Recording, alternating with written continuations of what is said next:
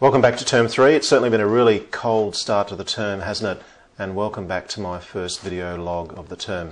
Today, what we're going to do is have a, a little bit of a, a look at behind the scenes at the Tech Champions, who are the group of students who help me put together my video log each week. I hope you enjoy it. So, I'd like to take the opportunity now to introduce our Tech Champions. This is Andrew, Isaac, Xander, Adam, and Nick.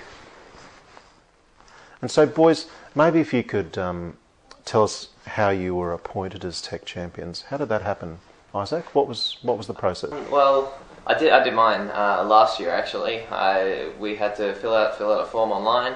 Uh, Mr. Wood put up for us, and then uh, Mr. Wood went through all the forms looking for the qualities he'd like in Tech Champions, and then he sent us an email and signed us up. Yeah. We go to meetings twice a week. Yeah, and so what are the sort of things that you boys you boys do aside from helping me with my video log? What are some of the things that you do, Andrew? What are as a team? What are the things have you been helping with? We help people with the problems that they have with their iPads or computers.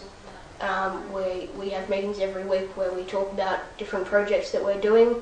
Um, like we're talking about making an arcade table, um, which will be lots of fun. Yep, and also I think you're involved in um, testing the My Billanook app too, weren't you? Yes. Xander, did you did you do some of the testing of the My Billanook app? Yeah, the, um, when the when the new version came out, um, So you were testing Yeah. how it worked and like things like that. like any problems Any with it, like we had to like just make sure everything was working, like set some set our own homework Yep. and some notes and make Yep. sure it all worked. And you were actually working with the company that developed the, Yeah. the app, weren't you? yeah.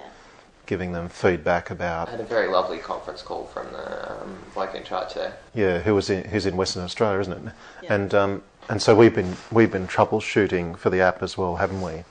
There are a number of steps involved in creating a vlog each week. Setting up the camera and tripod involves getting it in the right place, and then there's the lighting and setting up the audio recorders. The editing process involves cutting clips in and out, adding effects to the audio and video, and adding music and text. We use a program called Premiere Pro to edit each vlog, which takes at least a few hours to edit. I hope you enjoyed um, the behind the scenes look at the Tech Champions, and um, thank you again for viewing my video log. And um, I look forward to catching up with you in a couple of weeks' time. Thank you.